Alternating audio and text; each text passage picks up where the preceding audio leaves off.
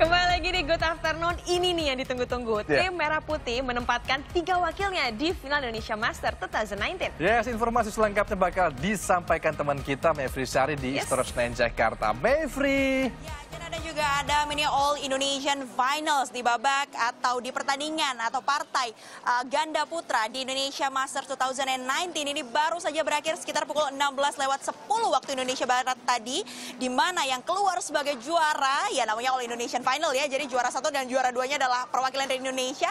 Dan yang meraih peringkat pertama ini adalah pasangan Minions atau Marcus dan juga Kevin di mana tadi dia berhasil memenangkan dari dua game berturut-turut.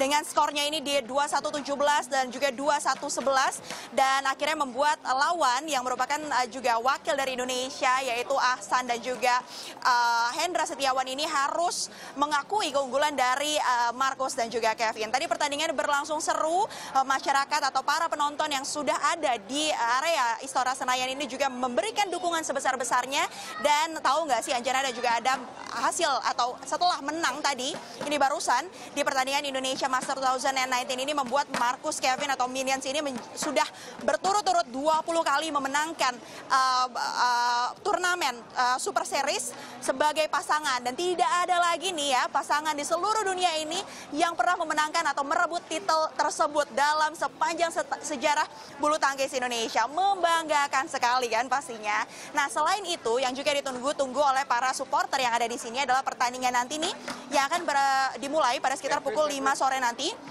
di mana akan ada pertandingan antara uh, Tontowi Ahmad dan juga Liliana Natsir melawan atlet asal Cina. Ini akan dimulai uh, pada pukul 5 sore nanti dan ini ditunggu-tunggu sekali karena menjadi pen- uh, pertandingan atau uh, babak pamungkas ini dari Liliana Natsir atau Butet yang per hari ini di tanggal 27 Januari 2019 ini mengumumkan bahwa ia pensiun dari dunia atau sebagai atlet uh, bulu tangkis profesional di Indonesia. Nah, tadi ini juga sempat digelar pada sekitar pukul 12 siang tadi di mana PBS ini menggelar acara Liliana Natsir uh, farewell event di mana tadi juga suasana harunya terasa sekali. Tadi juga sempat ada uh, tangis haru dari uh, Butet gitu dan Butet ini juga tadi mengucapkan terima kasih pastinya untuk para pendukung yang selama ini selama 24 tahun ia berkarir atau berkarya sebagai atlet Indonesia selalu memberikan dukungan dan juga pihak-pihak lainnya. Kita sama-sama tunggu karena kalau berdasarkan uh, statistik ini dari BWF World Rankings ini memang lawan dari Owi Butet ini ada di peringkat pertama, sementara Owi Butet ada di peringkat keempat.